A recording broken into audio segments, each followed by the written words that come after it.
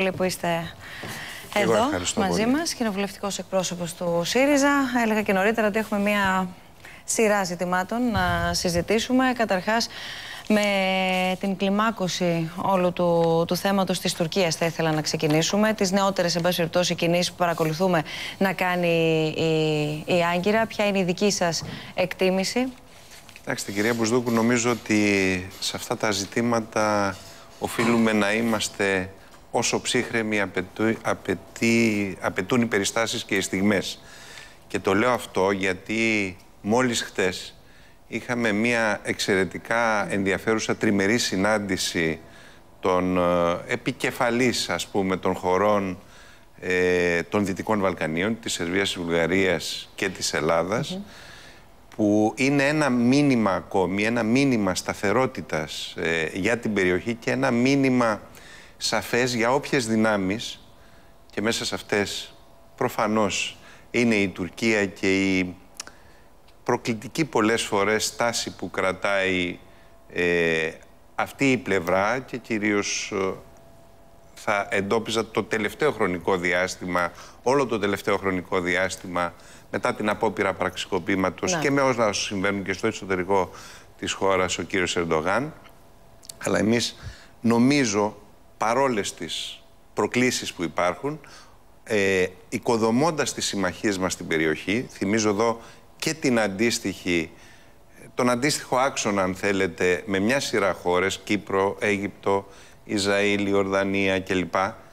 Ε, να κρατάμε ε, σταθερή την προοπτική ε, για να έχουμε μια ειρηνική συνύπαρξη με τον γείτονά μας με όρους αρχών Ναι. και βεβαίως με μια σαφή τοποθέτηση ότι δεν πρόκειται και θα πέσουν στο κενό όσα, ε, όσες προκλήσεις και αν δεχτούμε ε, και εμείς θα υπερασπίσουμε με σαφήνεια και με αποφασιστικότητα τα κυριαρχικά μας δικαιώματα. Αυτό ουσιαστικά είπε και εχθέ ο Πρωθυπουργός. Ακούσαμε τον ε, Αλέξη Τσίπρα να χρησιμοποιεί και πολύ συγκεκριμένη σκληρή γλώσσα, απαντώντας ουσιαστικά σε μια σειρά κινήσεων και προκλήσεων που παρακολουθούμε. ε, Όχι μόνο τις τελευταίες ημέρες, αλλά ε, και στις τελευταίες μέρες να μείνουμε. Είναι πάρα πολλές οι προκλήσεις που έρχονται από τη γειτονική χώρα. Ε, συμφωνώ μαζί σας ότι είναι πολλές οι προκλήσεις.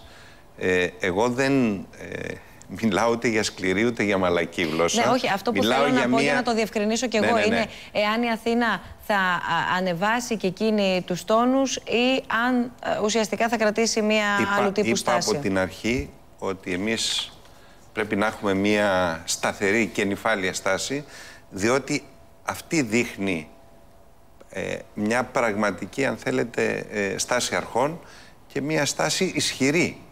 Διότι δεν πρέπει να ξεχνιόμαστε ότι είμαστε το σύνορο της Ευρώπης προς, τη, προς την ε, Ασία, ας το πούμε έτσι, και προς την Ανατολή. Και επίσης δεν πρέπει να ξεχνιόμαστε και το εξής, ότι η Τουρκία παρόλες τις παλινοδίες της και τα διαφορετικά μηνύματα που εκπέμπει, εξακολουθεί, νομίζω, να γνωρίζει πάρα πολύ καλά ότι η στάση της χώρας μας σε σχέση με την ευρωπαϊκή της προοπτική είναι καθοριστική και βεβαίως είναι στάση στήριξης μιας τέτοιας ε, προοπτικής. Αυτό δεν πρέπει να το ξεχνάμε, διότι καταλαβαίνουμε όλοι ότι είναι πολύ καλύτερο να έχουμε την Τουρκία ως ευρωπαϊκή ή ενδυνάμει ευρωπαϊκή χώρα, βεβαίως με όλες τις απαιτήσεις που χρειάζεται να έχουμε για μια ευρωπαϊκή Ναι, χώρα και, και όλα εννοώ τα κριτήρια. τη δημοκρατική λειτουργία και όλα τα άλλα κριτήρια που πρέπει να υπάρχουν. Λοιπόν, για να έρθουμε να δούμε και στο εσωτερικό μας τι γίνεται. Έχει προκαλέσει πριν πάω στη... στην εσωτερική κόντρα ανάμεσα στην κυβέρνηση, στην αξιωματική αντιπολίτευση, στην υπόλοιπη αντιπολίτευση για τα γνωστά ζητήματα της δικαιοσύνης. Έχει προκαλέσει αίσθηση αυτό το οποίο διαβάζουμε σήμερα για ένα πολυνομοσχέδιο το οποίο κατατέθηκε στη Βουλή και ε, ουσιαστικά δίνει μία σειρά προνομίων στους εργαζόμενους της τοπικής αυτοδιοίκησης. Εδώ πέρα υπάρχουν αρκετά ερωτήματα ε, αν αυτό γίνεται για κάποιο λόγο αυτή τη στιγμή. Ένα δεύτερο ερώτημα, αν υπάρχουν αυτά τα περιθώρια για τα προνόμια. Μάλιστα την ίδια ώρα ασκείται κριτική ε, από τις πρώτες αντιδράσεις ε, την ώρα που περιμένουν χιλιάδες συνταξιούχοι, την ώρα που βλέπουμε να πέφτει το αφορολόγητο. Από πού προκύπτουν αυτά τα τα περιθώρια, ξαναλέω, προκειμένου να δουν προνόμια οι εργαζόμενοι στην τοπική αυτοδιοίκηση επιπλέον. Ε, κυρία Μπουσδούκου, νομίζω ότι η στάση απέναντι σε κάθε νομοσχέδιο και η κριτική που οφείλει και πρέπει να γίνεται στο δημόσιο διάλογο πρέπει να παίρνει υπόψη της συγκεκριμένα πράγματα. Δηλαδή δεν μπορεί, ε, ξέρετε, θυμάμαι πριν λίγο καιρό, είχαμε την κινητοποίηση των εργαζομένων, των ε, συμβασιούχων, ε, που από της δική τους ναι. πλευρά οι συνδικαλιστικές οργανώσεις, αν θυμάστε καλά, ζητάγαν τη μονιμοποίησή τους. Ε, λίγο Γιατί πριν. Κάτι τέτοιο, λίγο, βέβαια, ένα λεπτό. δεν είχαν υποσχεθεί. Δεν ξέρω αν και ποιος, αλλά τουλάχιστον από τη δική μας κυβέρνηση δεν νομίζω ότι υπήρχε τέτοιου είδους θέμα. Πάω παρακάτω. Δεν μπορεί την ίδια στιγμή που κατηγορείς ε, ένα Υπουργείο τότε, για εκείνη την περίπτωση λέω, ότι θέλει να φτιάξει ένα κομματικό στρατό, την άλλη στιγμή, όταν έρχεται το πρόβλημα των σκουπιδιών στην επιφάνεια, να την κατηγορήσει γιατί δεν λύνει το θέμα της ομοιρίας των συνταξιούχων. Πρέπει να... Ε, τι θέλω να πω. Θέλω να πω ότι πρέπει να είμαστε πάρα πολύ συγκεκριμένοι και να δούμε ένα-ένα τα ζητήματα και στην κοινοβουλευτική διαδικασία. Ε, εγώ θα σας πω ένα-δυο παραδείγματα από αυτά που περιέχει το νομοσχέδιο. Παράδειγμα, δεν είχαν πληρωθεί σε αυτούς τους ανθρώπους που δικαιούνται από το 12 αν θυμάμαι καλά ε, διάφορα, ε, ε, δεν είχαν προμηθευτεί μάλλον, διάφορα, με διάφορα είδη απαραίτητα για την ε, δουλειά τους που προβλέπονται είτε ως στολές είτε ως διάφορα πράγματα. Το να αποκατασταθεί αυτό, θα δούμε και το κόστος, θα είναι, θα είναι, ναι, στην, στο Γενικό Λογιστήριο του Κράτους, στην έκθεση του Γενικού Λογιστηρίου του Κράτους, νομίζω ότι είναι μια επιστροφή στην κανονικότητα. Όπου, δεύτερο παράδειγμα, με τους εργαζόμενους στις ε, δημοτικές επιχειρήσεις ίδρυυσης. Ε, υπήρχε ένα ε, ζήτημα για ε, συμβάσεις που είχαν κάνει στο παρελθόν να επιστρέψουν αυτά τα χρήματα όσα χρεωστήτως καταβληθέντα.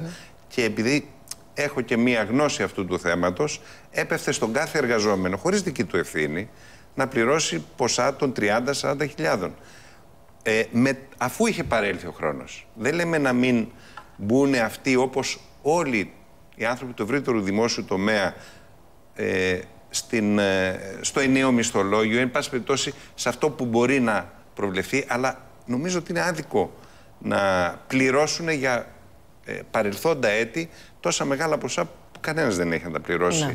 εδώ που τα λέμε. Άρα λέτε ότι πηγαίνουν σε ανάγκες κατά κύριο ακούστε, λόγο. Καλύπτονται, ανα, καλύπτονται ναι. ανάγκες. Ε, εγώ είμαι έτοιμος ε, και να κουβεντιάσω και όποια συγκεκριμένη αντίρρηση θα έλεγα προβληθεί, αλλά να είναι επί του πραγματικού περιεχομένου. Δεν νομίζω ότι ωφελούν.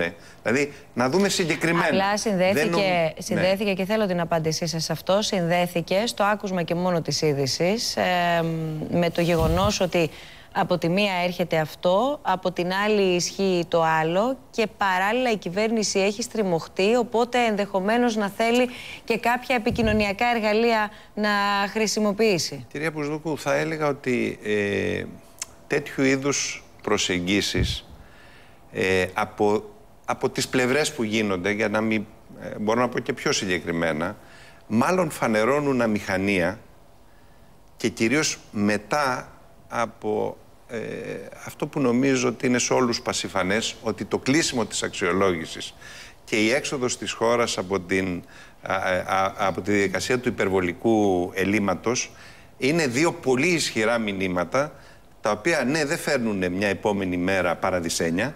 Είναι προφανές ότι έχουμε εξαιρετικά δύσκολα πράγματα μπροστά μας, αλλά και νομίζω ότι αυτό αποτυπώνεται και πολύ συγκεκριμένα και σε άλλους τομείς, δημιουργούν ένα κλίμα σταθερότητας, ένα κλίμα που ενδυνάμει και κάτω από ορισμένες προϋποθέσεις ναι. μπορεί πράγματι να δώσει διέξοδο. Επαναλαμβάνω, παρά τα πολύ δύσκολα πράγματα που έχουν αποτυπωθεί από αυτή την πολύχρονη κρίση ε, στην ε, πραγματικότητα και στην καθημερινότητα ε, της συντριπτικής πλειοψηφίας των, των πολιτών. Εξαιρώ αυτούς που πάντα ε, είχαν ακόμη και στις πιο άγριες κρίσεις τη δυνατότητα να διαφεύγουν από τις κρίσεις και καταλαβαίνετε ε, ποιους εννοώ. Ε, φαντάζομαι και, αλλά... το, και όσους το έκαναν με παράνομο τρόπο. Έτσι, γιατί μπορεί και κάποιος να είχε την άνεση, αλλά να, να, να ήταν νόμιμος ο τρόπος. Δεν ξέρω. Και αυτό, είναι, και αυτό είναι μια συζήτηση πόσο ίσα είναι τα πράγματα ή ίσες οι δυνατότητες σε αυτές τις κοινωνίες που ζούμε, αλλά αυτό είναι μια διαφορετική συζήτηση. Αυτό που θέλω να πω είναι το εξής. Ότι μου ακούγονται αυτές οι γενικές προσεγγίσεις. Εγώ ξαναλέω, είμαι έτοιμος να ναι, κουβεντιάσουμε επί συγκεκριμένων, και το επί συγκεκριμένων θεμάτων. Αλλά οι πρώτες αντιδράσει είναι ούτως ή άλλως. Σύμφωνοι. Οπότε, σύμφωνοι. Γι' αυτό ε, συνεπώς, συνεπώς, δεν, νομίζω, δεν νομίζω ότι μπαίνει αυτό, ναι. για να το τελειώνω, δεν νομίζω ότι μπαίνει σε μια αγωνία, αν θέλετε, της mm. κυβέρνησης ε, να κλείσει διάφορα μέτωπα ή να μπορέσει να φτιάξει καλές ειδήσεις για συγκεκριμένες κοινωνικές mm κατηγορίες. Να κάνουμε όση αντιπαράθεση χρειάζεται να κάνουμε στη Βουλή, ναι. αλλά να δούμε ποια είναι θέματα που πρέπει να λύσουμε και ποια δεν είναι θέματα που πρέπει να λύσουμε. Σε κάθε περίπτωση έχετε και εσείς την εικόνα του Ευεργέτη ως μέλος του κυβερνώντος κόμματος; Εντάξει, νομίζω ότι μάλλον επειδή ξέρω τον Γιάννη τον Παλάφα, ε, μάλλον απομονώθηκε η έκφρασή του. Νομίζω ότι κανένας στο χώρο, χώρο μας δεν έχει καμιά εικόνα, κανενός Ευεργέτη. Δεν είναι γι' αυτό που μας ψήφισε ε, ο ελληνικός λαός. Προσπαθούμε σε αυτές τις πολύ δύσκολες συνθήκες ε, να κάνουμε το καθήκον μας. Έχουμε κάνει ε, επώδυνους συμβιβασμούς. Αυτό κοστίζει και σε κοινωνικά στρώματα, αν θέλετε, που μας ενδιαφέρουν. Αλλά έχουμε κάνει από την άλλη, ε, κυρία Μπουσδούκου, νομίζω και πράγματα για, το, για τα οποία ε, Πράγματι νομίζω ότι αν αντικειμενικά κανένα, κανένα τα δει σε συνθήκες κρίσης, σε συνθήκες ε, αυτού του συσχετισμού δυνάμεων που υπάρχουν στην Ευρώπη και σε όλο τον κόσμο, ε, ε, πρέπει να τα κρίνει με αυτόν τον τρόπο και νομίζω ότι μπορεί ορισμένα από αυτά να τα κρίνει ότι είναι προς τη θετική κατεύθυνση. Και για να πω δύο-τρία, ναι. αν μου επιτρέπετε, νομίζω για παράδειγμα το ότι αντιστρέψαμε έστω με αυτόν τον τρόπο, αυτή την τρομακτική άνοδο της ανεργίας, γιατί αυτό που έχει συμβεί αυτά τα χρόνια είναι ότι πράγματι έχουμε πέντε μονάδες κάτω την ανεργία. Δεν πανηγυρίζουμε γι' αυτό. Ξέρουμε Θα μου επιτρέψετε να συμπληρώσω εδώ ότι ναι. βεβαίως ένας, ένας μάλλον πάρα πολύ σημαντικός παράγον είναι και οι συνθήκες εργασίας. Βεβαίως, βεβαίως, βεβαίως. Ακριβώς αυτό θα σας έλεγα και θα πήγαινα εκεί. Όταν αυτό το κάνεις όταν, όταν αυτή την προσπάθεια, η οποία είναι καταγεγραμμένη, δεν, δεν υπάρχει αμφιβολία, κανένας δεν λέει πια ότι δεν δημιουργήθηκε, κανένας δεν μπορεί να πει και δεν λέει. Και οι σοβαροί άνθρωποι δεν το λένε, ότι, δεν δημιουργήθηκαν πάνω από 200.000 νέες θέσεις εργασίας αυτό το διάστημα, ενώ είχα, χάσαμε ένα εκατομμύριο περίπου θέσεις εργασίας από το 10 μέχρι το, μέχρι το 14. Ξαναλέω, δεν πανηγυρίζουμε γι' αυτό. Ναι. Γιατί, γιατί το ποσοστό της ανεργίας εξακολουθεί να παραμένει υψηλό και όπως πάρα πολύ σωστά είπατε, οι συνθήκες εργασίας από τα μεροκάματα μέχρι ε, τις μορφές ελαστικής εργασίας μέχρι αυτά που βλέπουμε ε, Σε και συνδυασμό με, τη, και με τη φορολογία και, και στο δημόσιο θα πω όμως. Και το κόστος ζωής ευρύτερα δηλαδή, για να καταλήξουμε στη μεγάλη εικόνα να βάλουμε όλα θα, μέσα. Θα σας πω, να, να τα βάλουμε όλα μέσα. Να βάλουμε λοιπόν μέσα και ότι ε, εμείς προσπαθούμε ταυτόχρονα δύο πράγματα. Ποια είναι αυτά; Ε, το ένα είναι αυτό που, αν θέλετε, υποτιμήθηκε, αλλά εγώ νομίζω ότι θα έρθει ο καιρός να το δούμε, το ότι μέσα από το κλείσιμο της δεύτερης αξιολόγησης πετύχαμε ότι με το κλείσιμο του προγράμματος θα ανοίξει η διαδικασία των συλλογικών διαπραγματεύσεων, ένα το κρατούμενο, αν και πήγαμε πίσω από την αρχική μας υπόσχεση, αν θέλετε, ε, που θέλαμε, αλλά δεν μπορέσαμε να το καταφέρουμε, να φέρουμε πολύ πιο γρήγορα την επαναφορά των συλλογικών διαπραγματεύσεων, να. που κάποιοι μιλάγανε τότε για αιμονή, ιδεολογική αιμονή της αριστεράς. Και το δεύτερο το οποίο κάνουμε, θα κάνουμε πάρα πολύ, κάνουμε ήδη, αλλά θα κάνουμε και πολύ σύντομα, πολύ συγκεκριμένα πράγματα, πάνω στην ε, αδήλωτη ή υποδηλωμένη εργασία και πάνω στις συνθήκε εργασίας. Θέλω να σας πω ένα χαρακτηριστικό. Μισό λεπτό για να κάνουμε διάλογο, ναι, κύριε Μαντά, βοηθήστε με. Η επόμενη αξιολόγηση, η οποία έρχεται σε πάρα πολύ μικρό χρονικό διάστημα, έρχεται το φθινόπωρο ε, και με τα δεδομένα έτσι όπως υπάρχουν, έχει μέσα έχει μέσα συνδικαλιστικό νόμο, έχει μέσα ε, εργασιακά που άπτονται στις αποφάσεις των εργαζομένων και ούτω καθεξής. Αυτό πόσο διαχειρίσιμο και πόσο εύκολα διαχειρίσιμο ή δύσκολα διαχειρίσιμο είναι από την κυβέρνηση και μάλιστα τη δική σας κυβέρνηση. Ναι, θα σας πω, θα σας απαντήσω ευθέως. Ε, είναι δύσκολο, χωρίς αμφιβολία. Η αλλαγή του συνδικαλιστικού νόμου που αφορά το κομμάτι της, ε, στο επίπεδο των πρωτοβάθμιων σωματείων να παίρνετε η απόφαση για την απεργία με τη συμμετοχή του 50% και πάνω των εγγεγραμμένων στο πρωτοβάθμιο σωματείο είναι ένα θέμα το οποίο αν θέλετε δυσκολεύει τις κινητοποιήσεις των εργαζομένων. Εγώ να το δεχτώ αυτό, υπήρξα για πολλά χρόνια συνδικαλιστής στον χώρο των νοσοκομιακών γιατρών και καταλαβαίνω πολύ καλά τι δυσκολίες μπορεί να φέρει, ειδικά στον ιδιωτικό τομέα αυτό. Ε, είναι λοιπόν ένα δύσκολο σημείο, αλλά θέλω να πω ότι ε, βασικά η τρίτη αξιολόγηση δεν περιλαμβάνει δημοσιονομικά μέτρα και αυτό δίνει τη δυνατότητα και να πάμε πολύ πιο γρήγορα και να το κλείσουμε. Αλλά επιτρέψτε να, να σας πω και το άλλο που ήθελα να σημειώσω, ότι εμείς έχουμε κάνει πάρα πολύ σοβαρή δουλειά, πέρα από τα θέματα ε, της αδήλωτης και της υποδηλωμένης εργασίας που ε, θέλουμε να τα φέρουμε και με νομοθετική πρωτοβουλία σε σύντομο χρονικό διάστημα, έχουμε κάνει πάρα πολύ σοβαρή δουλειά με το ΣΕΠΕ. Με, το, με, με τους ελέγχους που κάνουμε στους χώρους εργασίας. Και θέλετε να σας πω και κάτι, κυρία Βουσδόκου, που το είπε χτες η αρμόδια υπουργός, η κυρία Χτσιόγλου. Το ΣΕΠΕ τον είχαν διαλύσει. Στο οργανόγραμμά του, ξέρετε ότι είχε αφαιρεθεί το τμήμα νομικής στήριξης και το, το, το τμήμα πληροφοριακής στήριξης. Πώς, εγώ αναρωτιέμαι, τι ακριβώς θα έκανε ένας τέτοιος οργανισμός mm -hmm. χωρί νομική στήριξη και χωρίς πληροφοριακό ναι. σύστημα.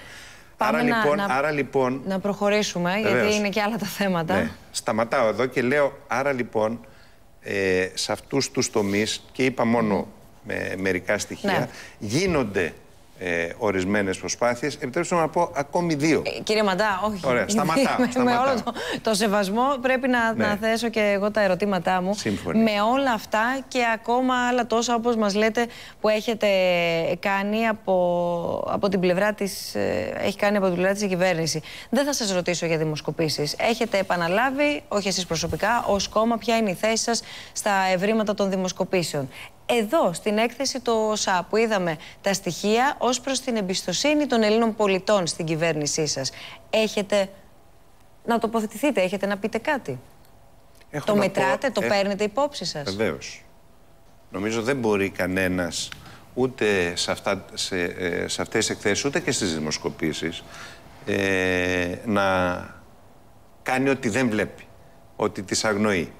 Ε, θα σας πω κάτι. Η κυβέρνηση πέρασε, κατά τη γνώμη μου, μία πάρα πολύ δύσκολη ε, περίοδο. Νομίζω ότι από εδώ και στο εξής, ε, να το πω έτσι πολύ χαρακτηριστικά, η κάθε μέρα για, για μας, η κάθε ε, εβδομάδα είναι μήνας και χρόνος. Νομίζω ότι έχουμε απόλυτη ευθύνη πια ε, σε αυτό το πεδίο που δίνεται για να ρίξουμε όσο γίνεται πιο πολύ βάρος στην καθημερινότητα και στο να λύσουμε ζητήματα, νομίζω ότι θα μετρήσει πάρα πολύ αυτό. Συνεπώς, εγώ ναι μεν βλέπω ότι ε, είμαστε στον Αδύρ, ας το πούμε, ε, και αυτό προφανώς δημιουργεί ε, προβληματισμό και πρέπει να δημιουργεί προβληματισμό, αλλά ναι. ταυτόχρονα πιστεύω ότι έχουμε όλες τις δυνατότητες αν με συλλογικό και αποφασιστικό τρόπο λειτουργήσουμε και αν λειτουργήσουμε με όρους διαφάνειας και δημόσιου συμφέροντος που θα το καταλαβαίνει ο πολλής κόσμος, ναι. πράγματι να το αλλάξουμε. Ναι. Όχι για να... Και ε, θα σας πω και κάτι. Εμείς θα, θα κριθούμε πολύ πιο αυστηρά, πιθανά, από άλλα κόμματα, άλλες δυνάμεις, άλλες πολιτικές δυνάμεις που έχουν ε, κυβερνήσει. Και καλώς θα κριθούμε πολύ πιο αυστηρά. Ε, γιατί οι προσδοκίες του κόσμου ε, από εμά στη συγκεκριμένη ιστορική στιγμή ήταν πράγματι μεγάλες. Ναι, και δεν μπορέσαμε, και αυτό να το πούμε, δεν μπορέσαμε να πραγματοποιήσουμε σε αυτές τις συνθήκες αυτά που ε, θέλαμε. Και πολλές φορές κάνουμε και πράγματα τα οποία είναι πολύ αντίθετα από αυτά που πιστεύουμε ως γενικότερη ιδεολογική αναφορά. Ε, εσάς θα μου επιτρέψετε και προσωπικά ε, ποια είναι η δική σας τοποθέτηση, αλλά και θεσμικά ως κοινοβουλευτικός εκπρόσωπος του ΣΥΡΙΖΑ. Απέναντι σε όλη αυτή την ιστορία που παρακολουθούμε και παρακολουθούμε πια ως πολίτες ρωτώ, mm κυρίως ως πολίτης ρωτώ και βεβαίως ως ε, δημοσιογράφος, ανάμεσα στην κυβέρνηση και τη δικαιοσύνη. Κοιτάξτε, κυρία Προσδόκου, ε, εγώ νομίζω... Τι συμπέρασμα να βγάλει κανείς δηλαδή από όλο αυτό. Να σας πω.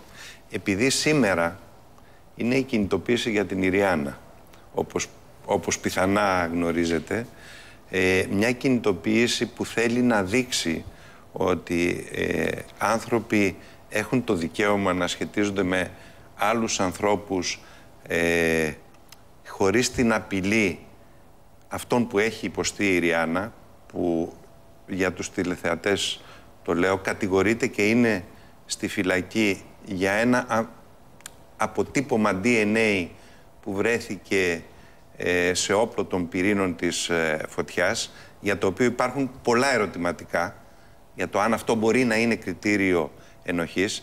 Σε μια λοιπόν τέτοια συγκυρία, και δεν ανέφερα τυχαία αυτό το παράδειγμα, ε, όπως και το παράδειγμα του Τάσου του Θεοφίλου που πριν από, που για πέντε χρόνια ήταν φυλακισμένος για διάφορες κατηγορίες ε, οι οποίες απο, βγήκε πανηγυρικά αθώος, έτσι. Και αυτό είναι μία δικαίωση. Τι θέλω να πω με αυτά τα δύο παραδείγματα. Υπάρχουν και άλλα από την αντίθετη πλευρά, έτσι.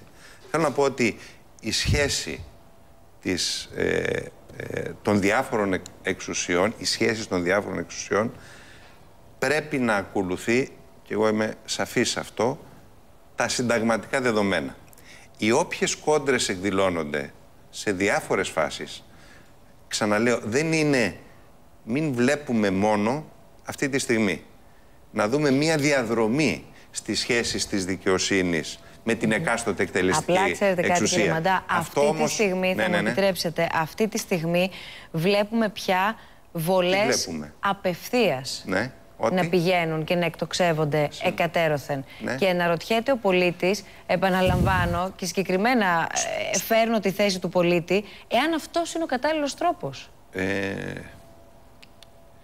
για να λυθούν να, τυχόν παθογένειες. Να, ε, να πω το εξής λοιπόν, αν μου επιτρέπετε. Εγώ νομίζω ότι ε, πρέπει να πέσουν οι τόνοι, το λέω με σαφήνεια, ανάμεσα σε μία ε, σε μια όπως εμφανίζεται διαμάχη και να δούμε την ουσία των θεμάτων, να είμαστε πάρα πολύ συγκεκριμένοι. Παράδειγμα, κατηγορούν την κυβέρνηση ότι παρεμβαίνει στη δικαιοσύνη. Ωραία. Εγώ θέλω να μας πούνε πώς. Πώς ακριβώς δηλαδή και ε, ε, εν πάση περιπτώσει εάν κάποιου είναι ιδιοκτησία η δικαιοσύνη. Mm. Είναι από την άλλη διότι, όμως θεσμικό διότι, εμπόδιο η δικαιοσύνη. Κοιτάξτε, κατά τη γνώμη μου κανένας θεσμός σε τελευταία ανάλυση δεν μπορεί και δεν πρέπει να αποτελεί εμπόδιο για, τους, για τον άλλο θεσμό. Όλοι οι θεσμοί και όλες οι εξουσίες, οι διακριτές εξουσίες που ορίζει το Σύνταγμα έχουν το ρόλο τους. Συνεπώς, ε, επαναλαμβάνω, το έχω πει και άλλες φορές δημόσια, η δικαιοσύνη δεν νομοθετεί, ελέγχει την νομιμότητα των ε, αποφάσεων και αυτή είναι η δουλειά της και πρέπει να το κάνει με όρους ανεξαρτησίας ε, ε, και ε, διαφάνειας. Αλλά και η κάθε απόφαση και της δικαιοσύνης όπως και κάθε εξουσίας νομίζω ότι στο δημόσιο διάλογο ε, όχι μόνο δεν πρέπει να μένει στο απειρόβλητος ιερό ε, κοιμήλιο, αλλά νομίζω ότι πρέπει να κρίνεται. Όπως κρίνονται όλοι σε αυτή τη χώρα. Κύριε Μαντά, σας ευχαριστώ πάρα πολύ για τη συζήτηση που είχαμε. Πάρα πολλά τα θέματα, πλούσια η επικαιρότητα. Πάμε να κάνουμε το τελευταίο μας διαφημιστικό.